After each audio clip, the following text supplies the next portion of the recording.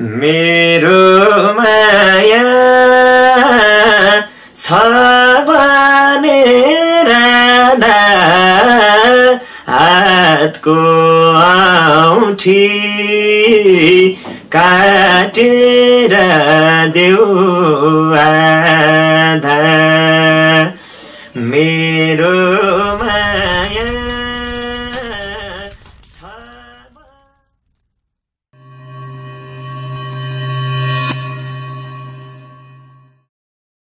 भर्खरै मात्र सांस्कृतिक संस्थानले आयोजना गरेको राष्ट्रव्यापी खुल्ला दोहोरी गीत प्रतियोगितामा आफूलाई अब्बल दोहोरी गायक भनेर साबित गर्न सफल रविन लामिछाने। हामीलाई एकदमै गर्व लागेको छ आज हामीले सप्तरङ्गीको पाहुना बनाएर ल्याउन पाउँदाखेरि। आज हाम्रो साथमा हुनुहुन्छ दोहोरी गायक रविन लामिछाने। स्वागत छ रविनजी तपाईँलाई सप्तरङ्गी संवादमा धन्यवाद। यो सप्तरङ्गी संसार युट्युब च्यानल हेरेर बस्नुहुने सम्पूर्ण आदरणीय दर्शकहरूलाई म लोकदोरी गायक रवि लामी छानेको तर्फबाट हार्दिक नमस्कार अनि साङ्गीतिक अभिवादन। साथमा तपाईँलाई मैले बधाई पनि टक्राएँ। थ्याङ्क यू भर्खरै एउटा राष्ट्रिय लेभलको प्रतियोगिता। दोहोरी गीत प्रतियोगिता। जित्नु भएको छ। एक वर्षभित्रमा तपाईँले तिनवटा प्रतियोगिता राष्ट्रिय लेभलका तिनवटा प्रतियोगितामा लाइभ दोहोरी अन्तर्गत हजुर। तिनवटै प्रतियोगिता जितेर ह्याट्रिक गर्नुभयो। होइन? अनि ह्याट्रिक गर्दै आफूलाई एकदमै यो लाइभ दोहोरीमा चाहिँ एउटा अब्बल कलाकार हो भनेर पनि साबित गर्नुभयो। तपाईँ आफैलाई चाहिँ कस्तो लागेको छ यो सबै नतिजाहरू आफ्नो पक्षमा ल्याउन सफल हुँदाखेरि? मेरो व्यक्तिगत रूपमा भन्नुपर्दा चाहिँ मैले यो लोकदोरी क्षेत्रमा नेपाली गीत सङ्गीत क्षेत्रमा सङ्घर्ष गर्दा आजभन्दा पाँच छ वर्ष अगाडिदेखि नै दोहोरी प्रतियोगितामा गाएर हिँड्थेँ हुन त अहिले मैले यो वर्ष धेरै प्रतियोगिता जित्दा कतिलाई यो वर्ष भत्तै आयो यो वर्ष नयाँ मान्छेको उदय भयो जस्तो पनि लाग्ला होइन? तर पहिला धेरै ठाउँमा भाग लिन्थेँ कति ठाउँमा हार्थेँ कति ठाउँमा थर्ड सेकेन्डसम्म। प्रथम चाहिँ म राष्ट्रिय लेभलमा भएको थिइनँ। र यसपालि चाहिँ राष्ट्रिय दोहोरी प्रतियोगितामा तिनवटामा लगातार प्रथम हुँदा एकदमै रमाइलो लागिरहेछ र यो मेरो मेहनतको फल हो मेरो सङ्घर्षको फल हो मैले गरेको एउटा धैर्यताको फल हो जस्तो लागिरहेछ मलाई। भनिसकेपछि पहिला पनि प्रतियोगिताहरूमा भाग लिने गाउने त गर्नुभएको थियो तर यो साल चाहिँ तपाईँलाई फाप्यो। फाप्यो पनि र यो मेरो अनुभवले चाहिँ निखारता ल्यायो पनि अ, भनिसकेपछि यो यस्तो हुँदो रहेछ। अहिले अहिले चाहिँ रविन लामिछाने निकै चर्चाको शिखरमा होइन? यो चर्चा भनेको सफलताले ल्याएको चर्चा हो होइन हजुर सफलताले नै चर्चा त हिजो पनि हुनु पर्थ्यो किन भन्दा तपाईँ सङ्घर्ष त गर्दै हुनुहुन्थ्यो। होइन हिजो पनि मैले गाउने दोहोरी त आजकै जस्तो हो। हजुर। होइन? मतलब हिजो प्रतियोगिताको अघिल्लो दिनतिर मैले गाउने दोहोरी नि आजकै जस्तो हो र त्यो बेलाको रवि लामी छाने नि केही फरक थिएन। तर त्यही एउटा सफलताले चाहिँ एउटा परिवर्तन र चर्चा ल्याइदिएको मात्र हो। हजुर। यो मिडियाको कुरा पनि त्यस्तो हुँदो रहेछ कि हिजो चाहिँ तपाईँले मिडिया खोज्दै हिँड्नुहुन्थ्यो होला। सायद अहिले चाहिँ मिडियाले तपाईँलाई खोज्दै हिँडिरहेको छ मैले त्यही फरक पाइरहेको छु अनि मैले विशेष गरेर तपाईँ लोकदोहोरी गायक। तर मैले तपाईँलाई चाहिँ दोहोरी गायक मात्रै भनेर सम्बोधन गर्न चाहेँ। एकदम एकदम राम्रो कुरा। म एकदमै खुसी हुन्छु। दोहोरी गायक भन्दा अथवा प्रतियोगी गायक भन्दा लाइभ दोहोरीको गायक भन्दा मलाई एकदमै खुसी लाग्छ किनभने मेरो धरातल मेरो ब्याकग्राउन्ड भनेको नै त्यही हो र त्यसले गर्दा नै मलाई यहाँसम्म ल्याइ पुर्याएको छ भने मलाई दोहोरी गायक अथवा दोहोरीको खेलाडी जे भन्दा पनि मलाई फरक पर्दैन एकदम खुसी लाग्छ गर्व लाग्छ। भनिसकेपछि लाइभ दोहोरी र रविन लामी छानेको सम्बन्ध चाहिँ कस्तो छ? अहिले त पर्यायवाची शब्द जस्तै भइसक्यो पछिल्लो समयमा तपाईँले प्रमाणित गरिसक्नुभयो अँ, त्यही त। अहिले लाइभ दोहोरी भन्ने बित्तिकै रवि लामी छाने नाम जोडिन्छ नै र म स्टेजमा म प्रोग्राममा कतै स्टेज प्रोग्राममा जाँदा पनि पहिले डिमान्ड नै म जब स्टेजमा चढ्थेँ त्यसपछि दोहोरी दोहोरी भनिहाल्छन् दर्शकहरूले पनि। र म गएको ठाउँमा त्यहाँ लाइभ म्युजिक छैन भने त्यत्तिकै मुखले भए पनि एक दुई टुक्का दोहोरी नगाइकन फर्किन नपाउने यस्तो स्थिति भइसक्यो। त्यो तर त्यसको पछाडि त धेरै सङ्घर्ष छ होला नि त होइन? छ मैले अघि पनि भनिसकेँ। सङ्घर्ष छ चाहे दोहोरी प्रतियोगिताहरूमा गाएको अनुभवको सङ्घर्ष होस् अथवा मैले दोहोरी साँझमा गरेको सङ्घर्ष होस् अथवा एल्बम निकाल्ने सवालमा गरेका सङ्घर्षहरू होस् हरेक सङ्घर्षहरूको एउटा मिश्रणबाट नै अहिले यहाँसम्म आइपुगेको हो। भनिसकेपछि यो एउटा चाहिँ यो जुन दोहोरी चाहिँ प्रतियोगिताहरूमा होइन विशेष गरेर हामीले देख्ने गरेको तपाईँलाई साथी होइन? जो तपाईँको तपाईँको सपोर्टर साथी हुन्छ होइन? सपोर्टर भन्ने के भन्ने त्यसलाई? पार्टनर पार्टनर जो त्यो पार्ट छुट्टै हुन्छ। उहाँहरूको पनि तपाईँको जित्दाखेरि उत्तिकै भूमिका रहेकै हुन्छ होइन? त्यसो हुँदाखेरि त्यो जुन साथी हुनुहुन्छ केटी साथीहरू जो हुनुहुन्छ तपाईँको होइन? त्यो तिनवटा प्रतियोगितामा यसो हेर्दाखेरि ल फरक फरक देख्छु क्या मैले फरक फरक होइन? त्यो कारण चाहिँ के हो? मलाई सबैभन्दा बढी चर्चा चिनाएको चाहिँ नेपालको एकदमै प्रतिष्ठित दोहोरी प्रतियोगिता जो भिक्रुटी मण्डलमा हरेक वर्ष हुने गर्छ। राष्ट्रिय लोक तथा दोहोरी गीत प्रतिष्ठानले आयोजना गर्ने रनिङ सिल्ड राष्ट्रिय दोहोरी प्रतियोगिता।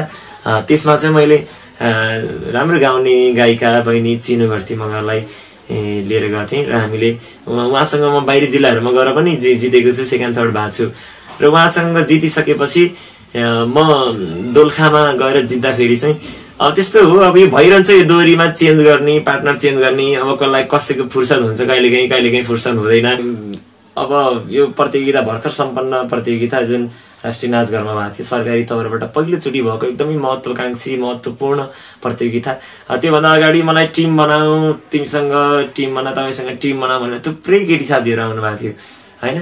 मेरो पुरानै शोभा कार्की बहिनीसँग मैले पहिला पनि सँगै हिँडिरहेको कारणले गर्दा र ऊ राम्रो एउटा गायिका भएको कारणले गर्दा राम्रो टिम बनिरहेको कारणले गर्दा मैले चाहिँ अरूलाई सरी भनेर उहाँसँगै टिम बनाएँ। एल्बममा होइन गाएर त्यो एल्बम चलेर पाएको सफलता र लाइभ दोहोरीमा पाएको सफलताको बिचमा चाहिँ रबिन लामिछाने चाहिँ कतापट्टि बढी झुकाव राख्छ? म त्यो एकदमै सजिलो तरिकाले उत्तर दिन्छु। जति आनन्द जति एउटा गर्व र जति आफूले महत्त्व लाइभ दोहोरीको एउटा उपलब्धिलाई ठान्छु त्यो एल्बमको म कहिले पनि ठान्दिनँ। म पैसा भयो भने महिनामा बिसवटा एल्बम मै निकालिदिन सक्छु। यदि त्यो खर्च गर्ने पैसा भयो भने। होइन? तर म महिनामा बिसवटा प्रतियोगिता जित्न त सक्दिनँ। होइन। त्यो भनेको प्रत्यक्ष रूपमा दर्शकहरूको सामु र एकदम सम्माननीय अग्रज निर्णायकहरूको सामु प्रतियोगिता जित्नु दुई तिन दिन लगाएर विभिन्न चरणहरू पार गर्दै त्यही पनि यति मेहनत पर्छ यति ध्यान पुर्याउनु पर्छ त्यहाँ। ती सबै कुराहरूलाई जितेर आत्मसात गरेको सफलता एल्बम चल्यो भने पनि त्यति ठुलो सफलता जस्तो मलाई लाग्दैन। आफूलाई चाहिँ एउटा फापेको भनेको तपाईँलाई लाइभ दोहोरी भयो होइन? तर एल्बम चलेर चर्चामा आएका कलाकारहरू नि त हुनुहुन्छ नि। होइन?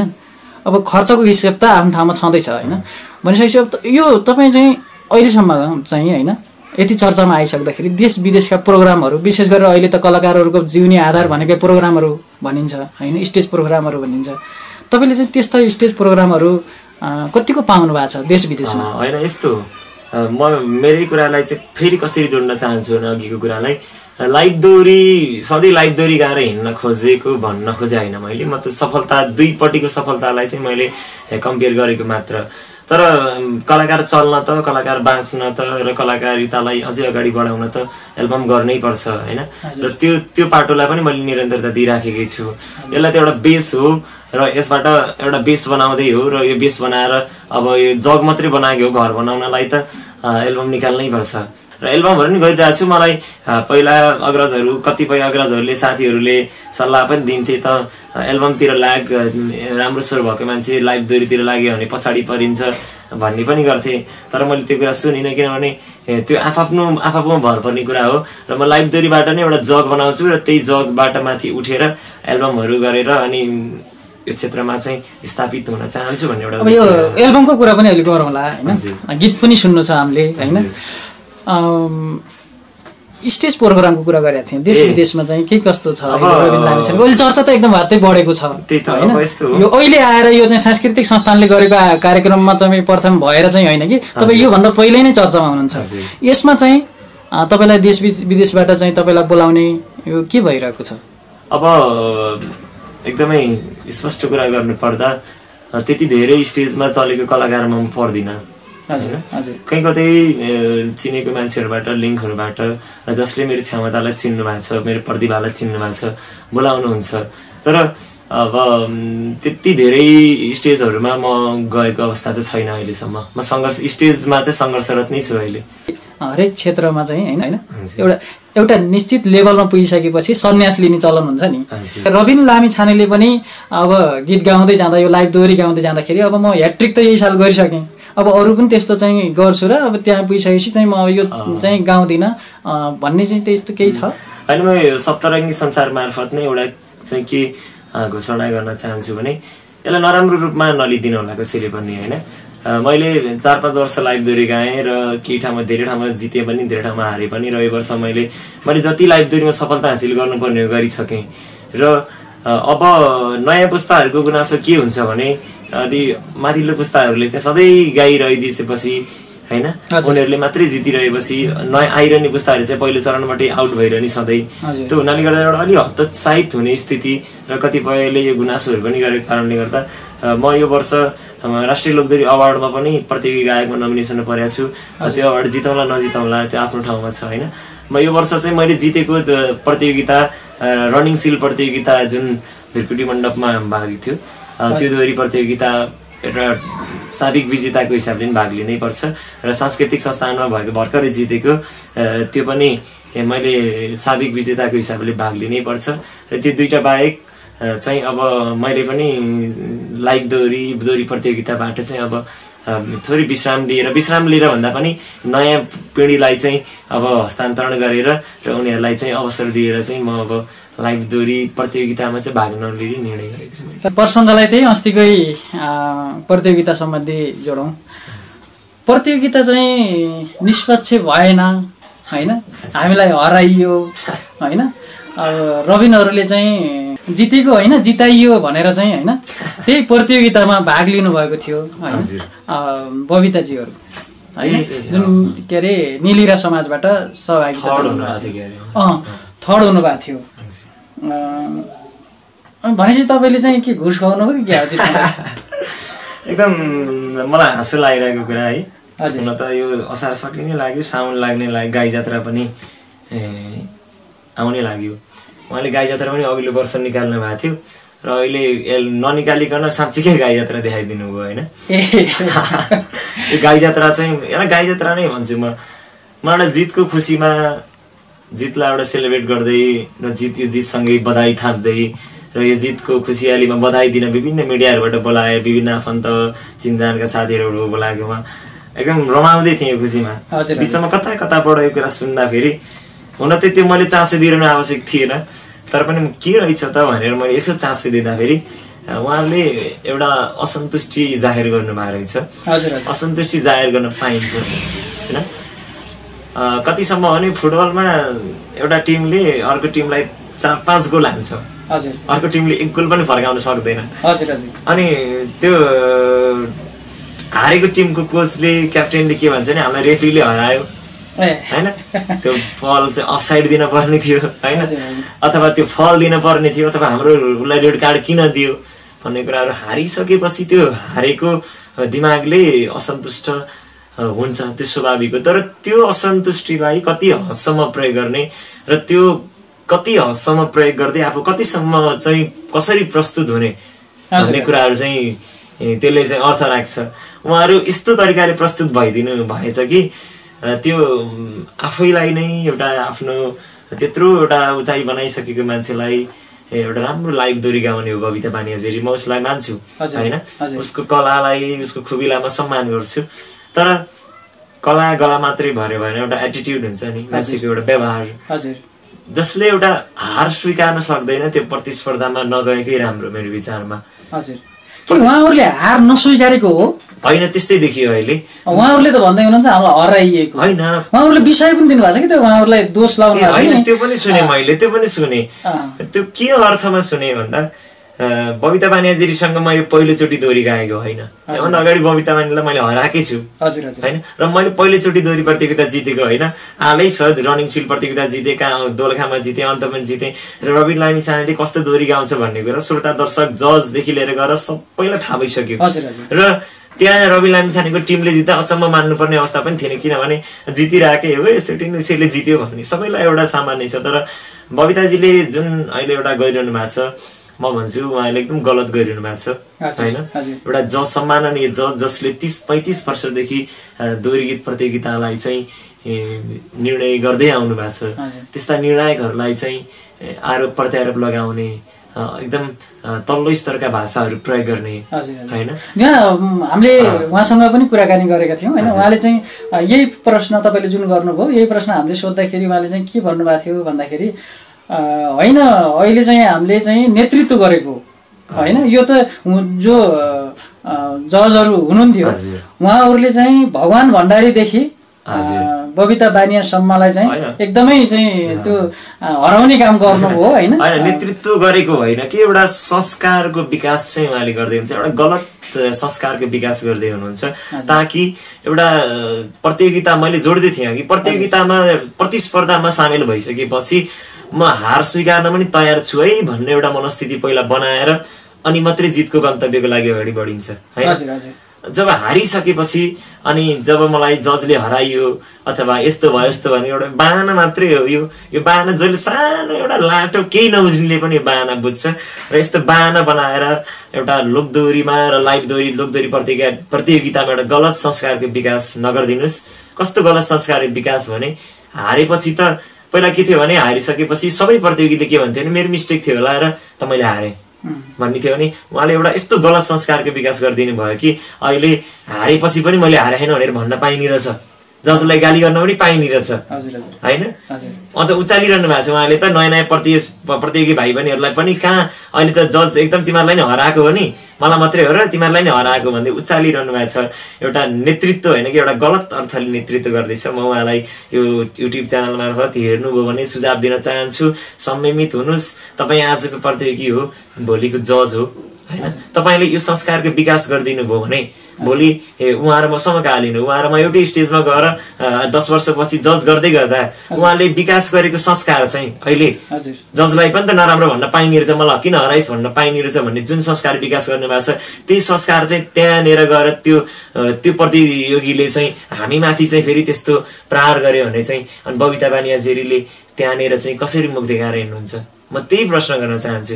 उहाँले चाहिँ यो जुन अ, हामीमाथि अन्याय भयो भन्ने कुरालाई चाहिँ त्यो यो नहरको विषय उठाउनु भएको छ क्या? होइन त्यो यस्तो हो। नहरको विषय कस्तो भने त्यो यसो हेर्दाखेरि चाहिँ यदि चाहिँ जजहरूले भन्न खोजेको त्यही नै हो भने चाहिँ अब टोटलमा चाहिँ के थियो त अब जजहरूले गर्नुभयो होइन। तर हामीले उहाँले भनेको कुरा चाहिँ के चाहिँ मनसिब जस्तो देखिरहेछ र बाहिर पनि त्यो हल्ला चाहिँ के चलिरहेछ भन्दाखेरि होइन नहर चाहिँ पहाडमा हुँदैनन् भन्नुभयो भन्ने कुरा आएको छ गलत प्रचार एकदमै गलत प्रचार गर्नुभयो। जजहरूले चाहिँ नहर पहाडमा हुँदैनन् भन्नुभयो। तर त्यही कारणले हामीलाई हराइयो। तर पहाडमा नहरहरू हुन्छन्। त्यसो हुँदाखेरि हामीले जितेको कुरालाई हार हारेको भनेर हार देखाउनका लागि चाहिँ त्यस्तो चाहिँ एकदमै त्यो सामान्य ज्ञानको समेत कमी भएको जजहरूलाई राखियो भन्ने कुरो दिँदै गर्दा एकदमै हाँसो लागिरहेछ। बबिता पानियाजिरीलाई म एउटा के कुरा भन्न चाहन्छु भने उहाँसँगै मैले लोसारमा लोसारमा पनि दोहोरी प्रतियोगिता हुन्छ। र त्यो लोसारमा दोहोरी प्रतियोगिता हार्दा मलाई पनि मलाई थाहा थिएन भित्री कुराहरू। मैले राम्रै गएको थिएँ जस्तो लाग्थ्यो। मैले कसरी हारेँ भनेर मैले पनि कुरा राखेँ। उहाँले चाहिँ यो तमासा गाई जात्रा देखाइन मैले सोध्नमा द जजलाई अथवा उनलाई सोद्धाखेरि उहाँले के भन्नुभयो अमर वीरे गुरुङ जस्तो निष्पक्ष जजलाई तैँले कसरी हारे भनेर भन्न मिल्छ? उहाँ त भगवान् जस्तो मान्छे हो। छातीमा हात राखेर भन्नु जेरी म फेरि भन्छु यहीबाटै भन्न चाहन्छु। भगवान् जस्तो जज उहाँले निष्पक्ष जज उहाँ। अनि उहाँलाई तिमीले त्यसो भन्न मिल्छ पहिला सिकेर आऊ न राम्रो गाउन आऊ भनेर उहाँले मलाई भन्नुभयो। त्यहाँ उहाँले जित्नु भएको थियो। त्यही उहाँले जित्दै गर्दा त्यही जज चाहिँ निष्पक्ष दुधमा दुध पानीको पानी भगवान्।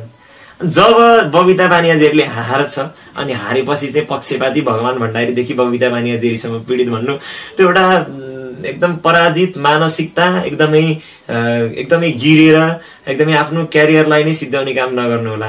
र नहरको कुरा म त्यही प्रत्यक्ष छु। हजुर। युट्युबमा नि छ त्यो दोहोरी। हजुर हजुर। र मैले उहाँले भन्नुभएको छ अरे रविन लामी छानेले हारेको टिम भनेर एउटा मलाई मानहानि हुने हिसाबले फेसबुकमा लेख्नु भएको थियो। म त्यसलाई पनि ठुलो रूपमा लिन्न। तर के भन्दाखेरि नहरको रूपमा कसरी भन्नुभएको थियो अमर वीर दाईले भने यस्तो यस्तो कुराहरूमा पनि प्रतियोगीले ध्यान पुर्याउनु पर्छ है। हजुर।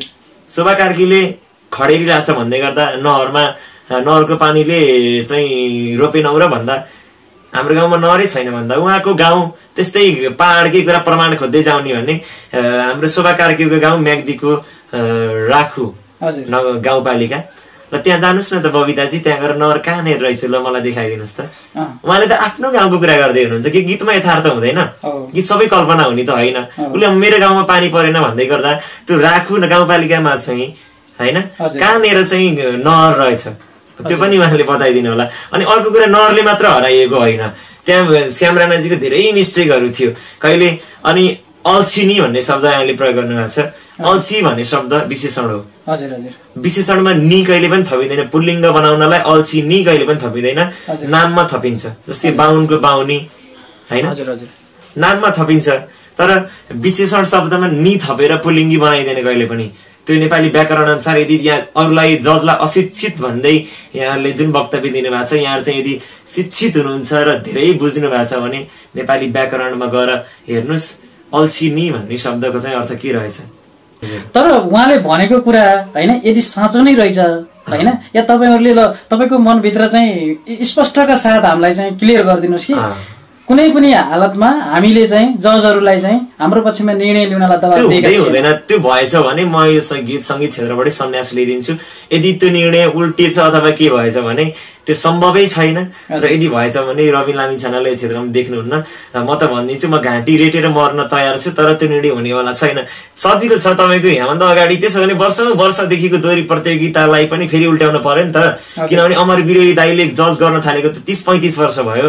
तिस पैँतिस वर्षदेखि गर्दै आएको जजमेन्ट नमान्न पर्यो। त्यही जेरीले जितेको पनि त लोसारमा दुई वर्षसम्म लगातार जितेको नमान्न पर्यो। त्यो पनि त उनले उल्टिनु उल्टिनु पर्यो होइन?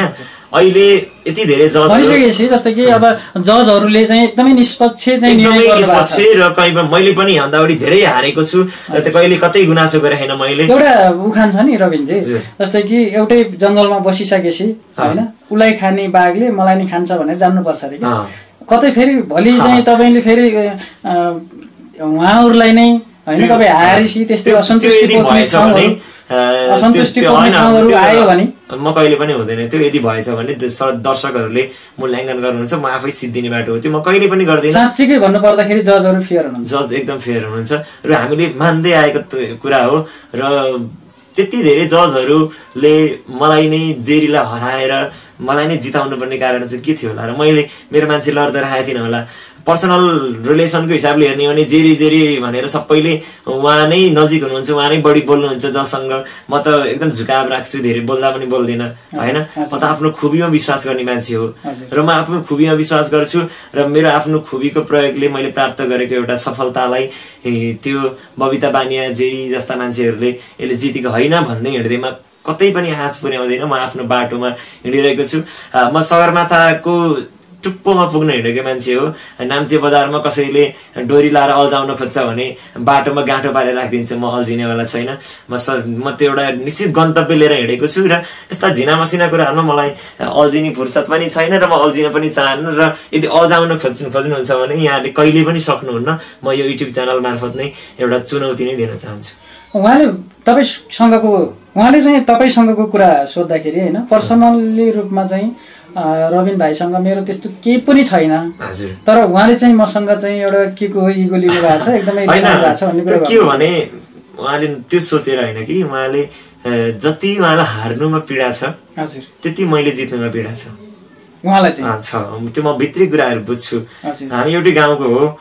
एउटै गाउँको मान्छेले आफूले हार्दै गर्दा पनि यदि मैले हारेर जेरीले जितेको भए म बधाई दिन्थेँ जेरीलाई तर एउटै गाउँको मान्छेले अथवा एउटै क्षेत्रको एउटै जिल्लावासीले जित्दै गर्दाखेरि त्यसले हारेको नामै किटान गरेर हारेको रवि लामिछानेको टिमलाई एकदम पक्षपाती ढङ्गले जिताइयो भनेर लेख्दै गर्दाखेरि उहाँ के बुझ्यो भने मैले जति हार्नुमा पीडा छ उहाँलाई मैले जित्नुमा पीडा छ तर धेरै पीडा नदेखाउनु अरूले जित्दा कहिले पनि पीडा नदेखाउनु अरूको जितमा पनि गौरव गर्न सिक्नु।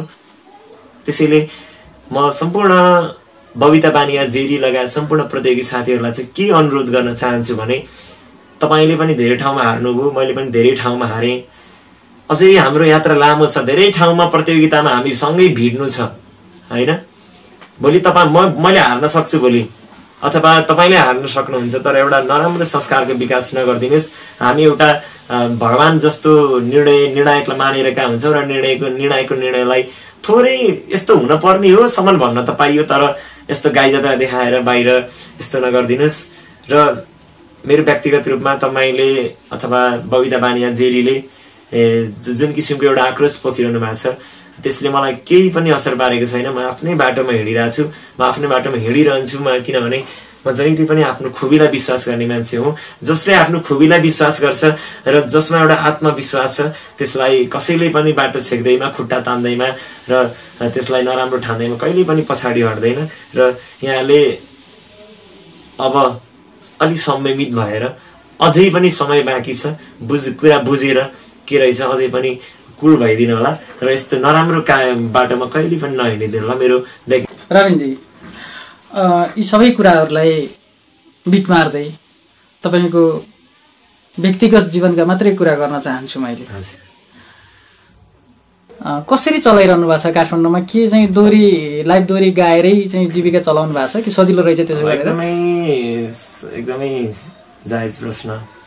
काठमाडौँको महँगी हजुर।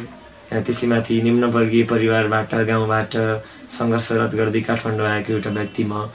र अहिले एउटा कलाकारितामा सङ्घर्षरत गर्दैछु।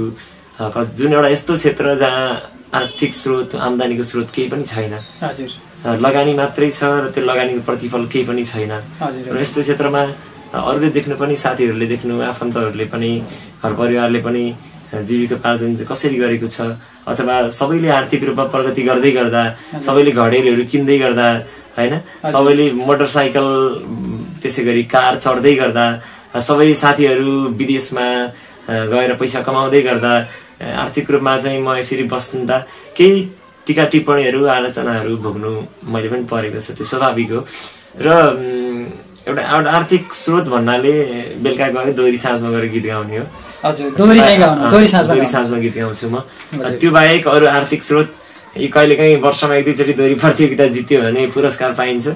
त्यो बाहेक अरू आर्थिक स्रोत कहिलेकाहीँ स्टेज प्रोग्रामहरूतिर गयो भने दिने पारिश्रमिक हो।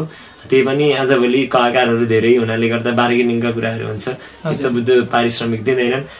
त्यसैले अलि कलाकारहरूको म मात्रै होइन कि म जस्तै अन्य श्रमजीवी कलाकारहरूको आर्थिक पाटो चाहिँ एकदमै दयनीय नै छ भन्दा पनि फरक पर्दैन। अन्तत हजुरको चाहिँ एउटा जीविकोपार्जन गर्ने बाटो भनेको दोहोरी साँझ। साँझ नै हो। दोहोरी साँझ र होइन विशेष गरेर दोहोरी साँझ नै तपाईँलाई हेल्प गर्ने ठुलो एउटा आर्थिक रूपमा पनि भयो। अर्को कुरो चाहिँ तपाईँ जुन प्रोग्राममा गएर यसरी चाहिँ चर्चामा आउने एउटा माध्यम बन्यो त्यसको लागि चाहिँ दोहोरी साँझले कतिको सहयोग गर्यो? होइन दोहोरी साँझ त हामी पटक पटक भन्ने गर्छौँ कलाकारहरूको एउटा पाठशाला हो। र पछिल्लो समयमा कलाकारहरूलाई बाँच्ने आधार एउटा तय गरिदिने ठाउँ पनि हो। होइन दोहोरी साँझबाट नै म यतिको गाउने भएँ। त्यही माइक समाएर दोहोरी गाउँदा गाउँदै अहिले अ, दोहोरीमा प्रतियोगिताहरूमा जित्ने भएँ स्वरहरूमा निखारता आयो म्युजिक के हो त्यहाँबाट सिकेँ। त्यति मात्र होइन कि पछिल्लो समयमा एउटा शून्य बजार एउटा आम्दानीको स्रोत केही पनि नहुँदा त्यहीँबाट आएको पारिश्रमिक त्यहाँबाट आएको तल पैसाले चाहिँ काठमाडौँमा बाँच्न पाइएछ भने दोहोरी साँझ मेरो लागि त सबै थोक हो। हजुर। प्रोग्राम भयो अस्ति है। अब त्यो प्रोग्राममा हजुर चाहिँ प्रथम पनि हुनुभयो। हजुर। होइन? यो एउटा सरकारी बजेटमा आयोजना गरिएको एउटा प्रतियोगिता थियो। होइन यो सरकारी चाहिँ चासो चाहिँ विशेष गरेर लोक दोहोरी त्यसभित्र पनि लाइभ दोहोरीलाई। होइन यो चासो देखिनुलाई तपाईँ एउटा चाहिँ होइन प्रतियोगी कलाकार भएको नाताले र आफू चाहिँ त्यसको चाहिँ विजेता पनि भएको नाताले। होइन के भन्न चाहनुहुन्छ यसलाई होइन म एउटा गीतबाट नै एउटा प्रसङ्ग यदि यहाँहरूले त्यो दोहोरीको फाइनल दोहोरी हेर्नु भएको थियो भने मैले एउटा टुक्का गएको थिएँ। केटीले कस्तो गीत गाउने होला त भन्दाखेरि गाइदिन गीत त उत्कृष्ट प्रकारले चासो दिएछ दोहोरीलाई सरकारले भनेर। मैले गीतै दिएको थिएँ होइन? पक्कै पनि सरकारले चासो दिनु भनेको एकदमै राम्रो पक्ष हो। र एउटा दोहोरीलाई चाहिँ सरकारले जहिले पनि उपक्षित रूपमा नै लिएको थियो र पछिल्लो समयमा सरकारी तौरबाट पहिलोचोटि र दोहोरीभित्र पनि लाइभ दोहोरीलाई चाहिँ यसरी सरकारले चासो दिनु यसलाई राम्रो सुरुवातको रूपमा लिएको छु र यसले निरन्तरता पनि पाउला सायद।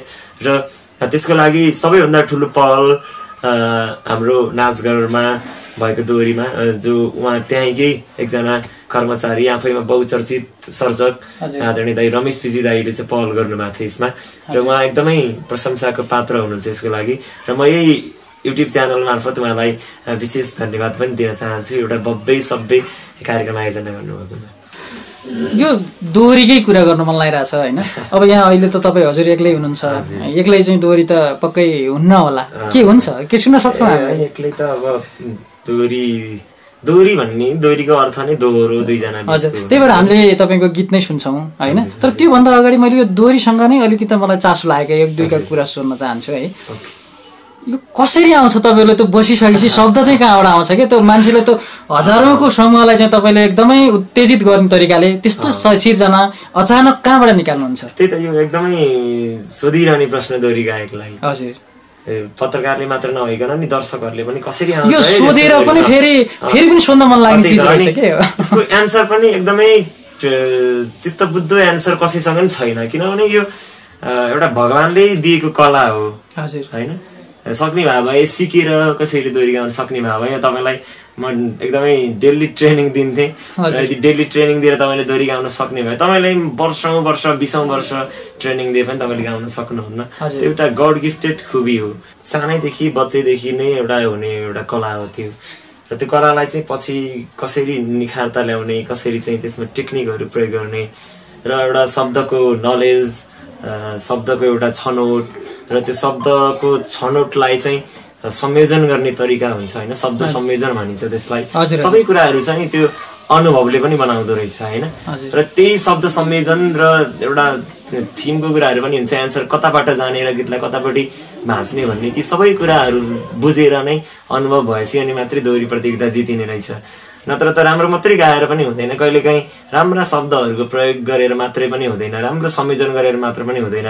त्यो ट्र्याक भन्ने गरिन्छ दोहोरीमा गाउँदै जाँदा केटीले एउटा कुरा भनिरहेछ र केटाले राम्रो शब्द भन्दा भन्दै अर्कोतिर लगिदियो भने त्यो केटाको गल्ती हुन जान्छ। यो रविनजी यो चाहिँ छ नि दोहोरी गाउँदाखेरि मैले प्रायः देख्ने गरेको चाहिँ केटा र केटी हुन्छ होइन? तर जहिले पनि त्यो सुरुवात चाहिँ केटाले गरे हुन्छ क्या?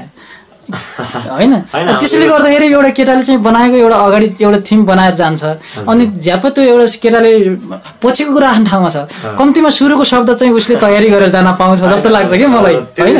अनि त्यसपछि त्यो केटीले त डाइरेक्ट भन्नु पर्दाखेरि अलिक केटीहरूलाई त्यहाँ चाहिँ अलिकति मार पर्दैन। होइन यस्तो थियो अब त्यहाँ के हुन्छ भने प्रायः केटीहरूले नै तपाईँ नै सुरु गरिदिनुहोस् न त भन्ने कुराहरू पहिलेदेखि एउटा चलन। हजुर। अनि पछिल्लो समयमा चाहिँ केटीले उठान गर्न चाहेमा? हजुर। र सहमति भएमा केटीले पनि उठान गर्न पाइने। र त्यहाँ सहमति नभएमा चाहिँ गोलापर्था गर्ने चलन पनि छ। हजुर। त्यो चाहिँ अहिले अभ्यासमा छैन किनभने केटीहरूले त्यस्तो विवाद कसैले पनि गर्दै गर्दैन। ल तपाईँ नै गाउनु भनेर छोडिदिन्छन् केटालाई होइन? हजुर हजुर। अनि अर्को कुरा केटाले एउटा जति नै राम्रो उठान गरे पनि जति नै घोकेर गए पनि यदि खुबी भएको केटी छ भने ठ्याक्कै बुझि बुझेर उसले पक्कै यसले चाहिँ एउटा मलाई एउटा विषयवस्तुमा लान लागिरहेछ है भन्ने बुझेर त्यो ट्र्याकलाई चाहिँ मोडेर अन्ततिर लान सक्यो भने त्यो सबैभन्दा ठुलो खुबी हो त्यो दोहोरी गायिकाको। र त्यसैले प्राय एउटा चलन हामीले पहिलेदेखि नै देख्दै आएको केटाबाटै सुरु हुन्छ।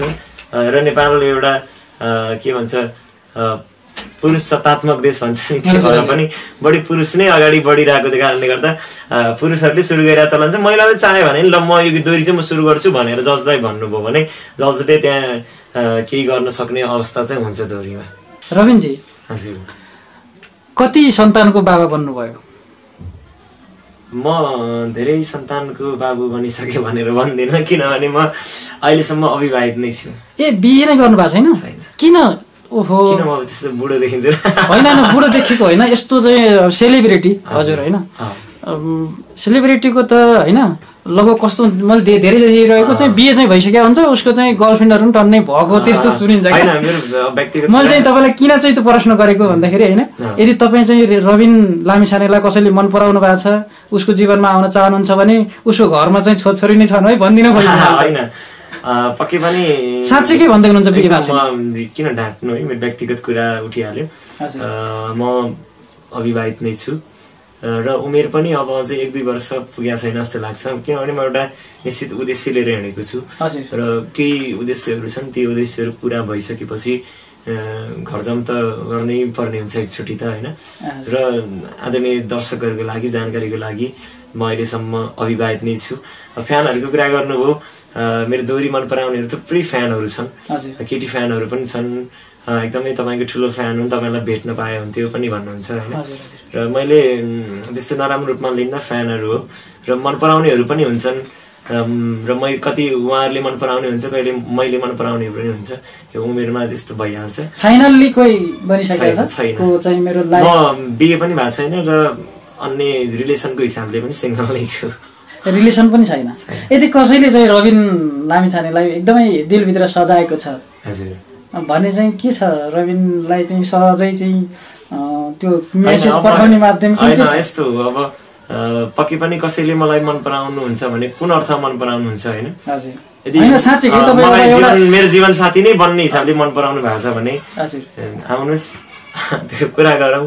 यदि चित्त बुझ्यो भने मन पर्यो भने सबै कुरा समझदारी भयो भने मलाई पनि मेरो जीवन साथी बन्न चाहिँ योग्य छ जस्तो लाग्यो भने ए, हुनसक्छ त्यो तपाईँले चाहिँ मन पराउनु भएको चाहिँ?